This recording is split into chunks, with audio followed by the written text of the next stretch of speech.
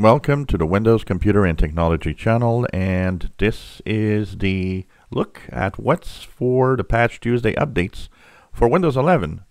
They're slightly different than Windows 10 so we'll be looking at Windows 11 most of the time um, separately. Um, Windows 10 contained only Patch Tuesday security fixes. Um, in Windows 10 there was 22 flaws that were fixed, one zero day, no critical. In Windows 11, it's uh, 23 flaws, so one more security vulnerability than Windows 10.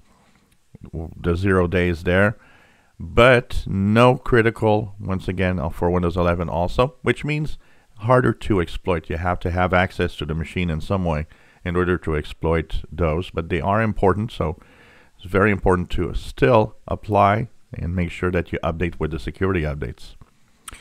If you check your updates for Windows 11, you'll see that it comes in the form of a cumulative update and the number of the KB, um, the uh, update itself is KB5010386.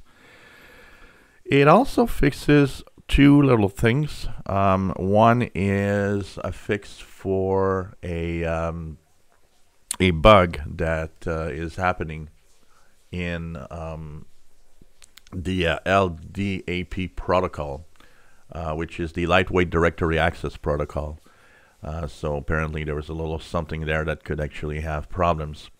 Uh, but for most users, what is the biggest fix is Windows Update itself as a servicing stack update that will improve reliability of the Windows Update on Windows 11.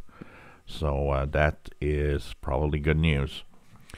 And uh, if you want to know what version you should be after this update, WinVer will tell you that you are and should be at, as of today, February the 8th, uh, 22,000.493.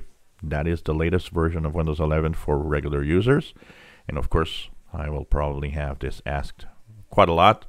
One of the things that we know is it is it is installing on unsupported hardware. So you guys are going to be up to date without any problems, even if you're using an unsupported machine on Windows 11. So uh, go to uh, your Windows updates and install them. If you don't, well, it will install automatically within the next hours or so. And uh, this will keep you safe with Windows 11. If you enjoy my videos, please subscribe, give us thumbs up. Thank you for watching.